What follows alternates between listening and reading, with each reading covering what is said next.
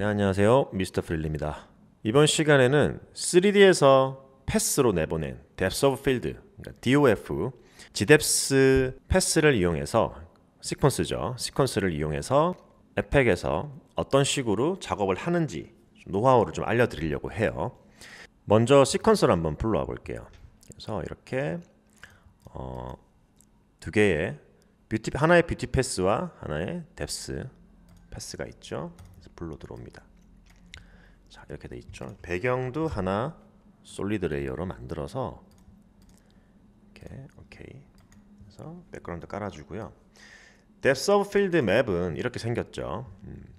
그래서 보통 얘는 이제 위치는 상관없어요. 위쪽에다 저는 보통 올리고요. 여기다가 어, depth of field 즉 어, 포커스를 날려버리는 그런 어, 필터를 사용을 할 건데요.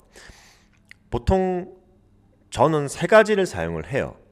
첫 번째는 이제 기본 기본 어, standard로 들어가 있는 플러그인 어떤 게 있냐면요. blur라고 effect window에서 이렇게 해보시면은 camera lens blur라고 있습니다.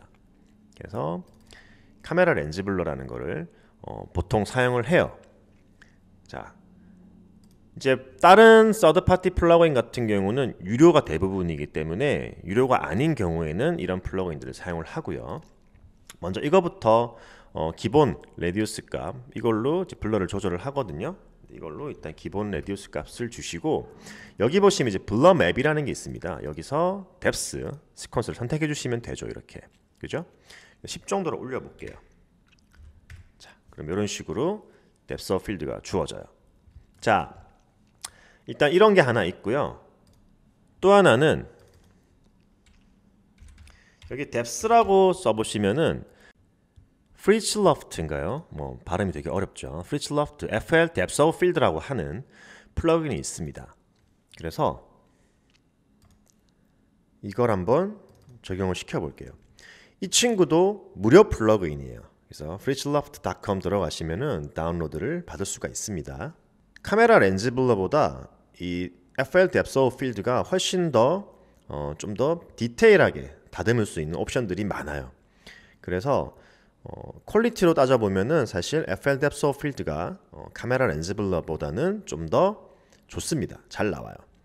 다만 이제 이게 훨씬 더 쓰기 편하다는 거죠. 단순하고 간단하기 때문에.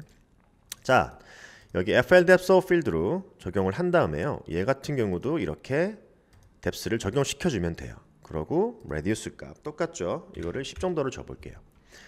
자 그러면은 이렇게 이상하게 먹죠. 여기 보시면 이 친구는 좀 다르게요. 이 select depth라고 해서요.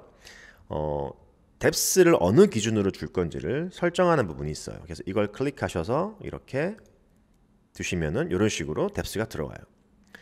어, 이렇게 주시면요 이쪽을 어, 포커스를 잡죠 그죠 이런 식으로 내가 조절도 가능해요 이렇게 해서 조절이 가능하다는 거예요 보통 이제 우리가 지금 어, 3D에서는 여기서 포커스를 줬기 때문에 이걸 클릭을 한 거고요. 어, gamma correction 같은 경우는 뭐 자연스럽게 해서 주시려면은 사실 저 같은 경우는 보통 뺍니다. 음, 이걸 잘 주지는 않아요. 이렇게 해서 어, 들어가는 경우가 있고요. 이제 유료 플러그인 중에서 쭉 내려보시면은 여기 사파이어 플러그인 있습니다.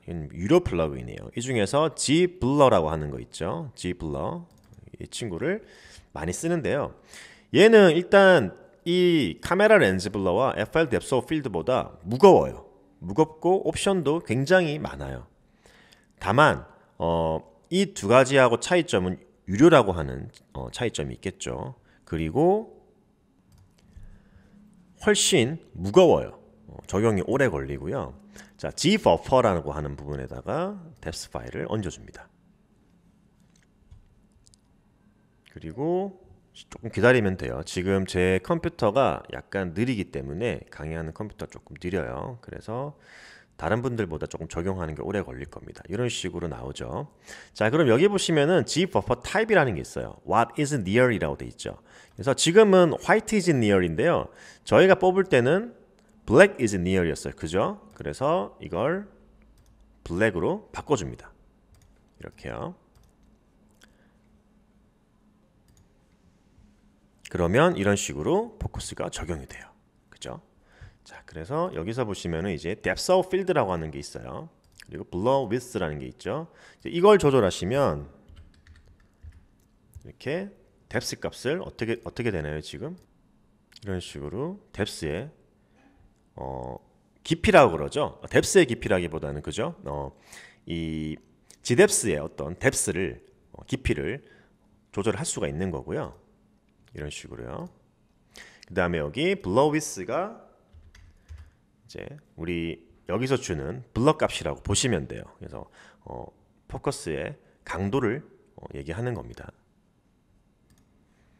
그래서 이런 식으로 낮추면 강도가 약해지죠. 그죠? 그래서 10 정도로 한번 다른 거 맞춰서 넣어 볼게요. 이렇게 15 정도 넣어도 되겠는데. 자, 이 세 가지를 소개시켜 드리려고 강의를 만든 건 아니에요. 어떤 of field에 대해서 어떤 식으로 음, 깔끔하게 처리하는지 그런 노하우를 좀 가르쳐 드리려고 하는데요. G블러 같은 경우는요. 여기 보시면은 엣지 부분이나 이쪽에 블러가 들어가는 부분이 굉장히 깨끗하게 들어가요. 그죠? 그런데 여기 of field를 보시면 이런 부분들이 지저분하게 들어갑니다. 자세히 보시면요. 번져 보인다고 해야 될까요? 원본에서 이렇게 얘랑은 느낌이 달라요. 이런 식으로 이쪽을 보시면요 좀 더 정확하겠죠 확연하게 차이가 나죠 그러니까 뭔가 뎁스를 줬다기보다는 뭉개버리는 효과를 준다는 거예요 얘 같은 경우는 자연스럽게 이렇게 뭔가 블러가 들어간 것처럼 보이는데 그리고 엣지 부분을 처리하는 것도 마찬가지예요 이런 부분을 처리하는 기능도요 뭔가 저 엣지 부분이 샤프하게 보이는 부분이 있고 그 다음 바로 단계가 그냥 블러가 넘어가 버리죠 보시면은 얘는 그렇지 않다라는 거예요. 그죠? 음, 경계가 명확하거든요. 굉장히. 카메라 렌즈 블러도 마찬가지예요. 엣지에서 그죠? 샤프하게 보이다가 바로 블러가 넘어가 버리죠. 이런 부분들도 굉장히 어설퍼요. 그래서 보시면은 사실 Z blur가 유료 플러그인 이유는 있습니다. 음, 굉장히 처리 속도가 느리지만은 디테일해요. 그러고 어, 확실히 quality적인 면에서 굉장히 잘 표현합니다. depth of field를. 그 다음 순서로 FL 뎁스 오브 필드라 보시면 되고요. 그 다음 기본 탑재된 이 카메라 렌즈 blur 같은 경우는 사실 많이 쓰긴 하는데요. 이거는 그냥 쓰면 안 돼요. 어떤 보정을 해야 됩니다. 그래서 지금부터 그런 보정하는 어떤 노하우를 좀 가르쳐 드릴 거예요. 자, 먼저 씬의 비교를 위해서요. 이거를 두 개를 이렇게 카피를 해 놓겠습니다. 이런 식으로. 카피를 해 놓고요. 어, 이렇게 하나를 이런 식으로 내려 놓을게요. 그 다음에 이 친구는 위로 이렇게 올리겠습니다. 그래서 어, 두 가지 경우의 수를 이제 우리가 한번 살펴볼 건데요.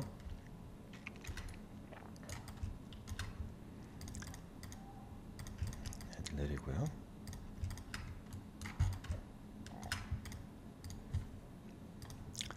마스크로 이런 식으로 설정을 해줄게요. 그래서 두 개를 비교를 한번 해볼 거고요. 자, 일단 밑에 있는 얘네들은 기본값만 주는 걸로 하겠습니다. 그래서 일단 카메라 렌즈부터 먼저 줘볼게요. 그리고 이렇게 세팅을 해줄 거고요. 그 다음에 10 정도 여기 10 정도로 이렇게 선택을 할게요. 아 이게 아니죠. 이거죠. 그래서 얘 같은 경우는 여기겠죠.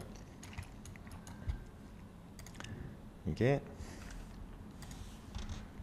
레이어 3번 그러니까 여기도 layer 3번을 주시면 되고요. 자 여기다가 어떤 필터링을 해서 보정을 좀 할 거예요. 자 어떻게 보정을 할 거냐면요. 일단 먼저 이것도 똑같이 해봐야 되겠죠. 그래서 얘는 4번 두 개가 똑같죠 지금 이런 식으로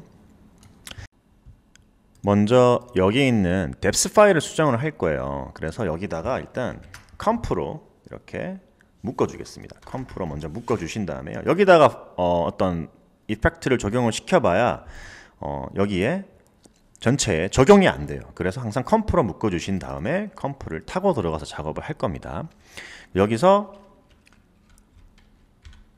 out of focus라고 하는 어, FL out of focus라고 하는 게 있어요. 여기서 보시면은 여기 있죠. FL depth of field 이거 설치를 하시면 out of focus도 같이 다운로드를 받으실 수가 있으세요. 여기 보시면은 이렇게 Lenscare description이라고 해서 처음에 이렇게 검색을 하시면 뜰 거예요. 예. Frischluft라고 검색을 하셔서 이렇게 검색해 보시면요. Lenscare 다운로드 들어가시면 이렇게 Lenscare 이걸 받으셔가지고 설치를 하시면 됩니다. 그래서 윈도우, 맥용 다 있고요. 자, 그럼 이거를 여기 depth 채널에다가 적용을 시켜주는 거예요. 그래서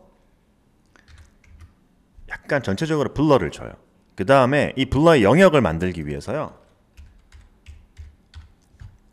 여기 cc 벡터 블러라는 것을 또 적용을 시킵니다. 그래서 영역을 약간 죽여주는 거예요. 엣지를 없애버리기 위해서. 이 정도 주겠습니다. softness 같은 경우도 이 정도만 주면 돼요. softness. 그래서 다시 확인을 해보시면 어떻나요? 여기는 엣지가 딱 끊어져 있고 여기도 딱 끊어져 있죠. 이런 부분도 그렇고요. 근데 위로 올라가서 보시면 어떻게 돼 있어요? 굉장히 부드럽게 연출이 된 것을 확인할 수가 있습니다. 그래서 적당한 값으로 이런 값들을 맞춰 주시면 돼요. 그러면은 굉장히 부드럽게 연출이 되고 자연스럽게 연출이 될 거예요. 이것도 5 정도로 낮춰 볼까요? 그러면 여기서 보는 것과 그죠? 이런 데서 보이는 엣지 부분 느낌이 여기서는 좀 더 자연스럽죠. 자 그렇다면 여기도 한번 확인을 해보겠습니다. 여기서 FL depth of field를 가지고 한번 확인을 해볼게요. FL depth of field 두 번째 뎁스에서 10 정도 줬어요. 여기도 보면 약간 이렇게 깨지거나 이런 현상들이 생겨요. 그렇죠? 이런 중첩되는 부분들의 엣지들이 이쁘지 않게 되거든요. 근데 여기서는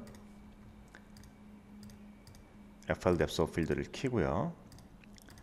선택을 해줍니다. 그래서 확인을 해보시면 어때요? 훨씬 부드럽게 이어지죠. 그죠? 값을 조금 낮추셔야 돼요. 이제부터 조절을 좀 하셔가지고요. 그래야 훨씬 자연스러운 뎁스가 먹습니다. 얘도 5 정도 줘서 확인을 해볼게요. 비교를 똑같이 해봐야 되겠죠. 확인해 보시면은 이런데 엣지들이 이렇게 깨지는 게 보이시죠? 근데 여기서는 그런 부분들이 없어져요. 부드럽게 이어집니다. 자, 그러면 마지막으로 지블러를 한번 볼까요?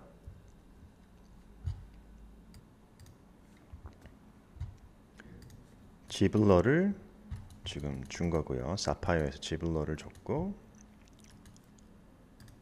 여기도 맞춰줘야 되겠죠.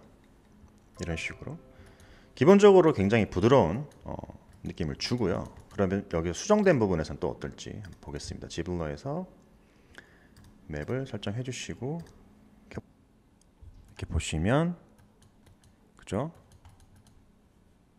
비교했을 때 얘보다 조금 더 블러가 많이 먹혔어요. 그죠? 엣지 부분에. 사실 이 친구는 이 사파이어 같은 경우는 이것만으로도 사실 굉장히 잘 나온 거기 때문에요. 아주 미세한 조절만 좀 해주시면 되는 거예요. 뭐 마이너스 1 정도만 주시고 그죠? 1 정도씩 뭐 이렇게 줘가지고요.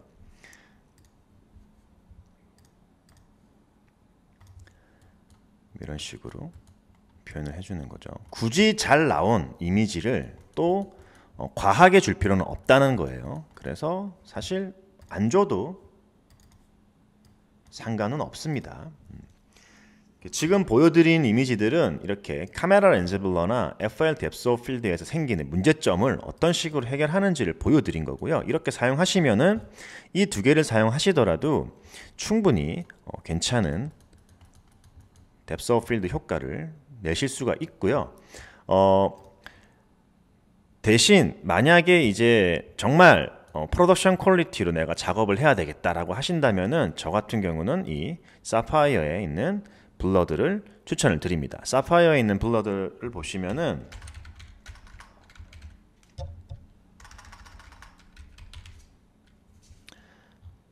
자 이런 식으로 Z blur가 있고요. Z Defocus라고 하는 어떤 플러그인도 있어요. 그래서 이렇게 Defocus Prism, Z Defocus 이런 것들이 있어요. 그래서 좀 더 포커스에 대해서 다양한 연출을 어, 해야 될 때는 사파이어 플러그인을 추천을 드리고요. 어, 유료 플러그인이 아닌 무료 플러그인을 사용하실 때는 지금 제가 말씀드린 것처럼 이렇게 어, comp를 통해서 이런 플러그인들을 적용시켜서 수정하는 방법 그렇게 하신다면은 좀 더 깔끔하고 어, 좀 더 높은 품질의 depth field 채널을 경험하실 수 있으실 겁니다. 자, 다들 이거 보느라 수고하셨고요. 도움이 되셨기를 바라겠습니다. 감사합니다.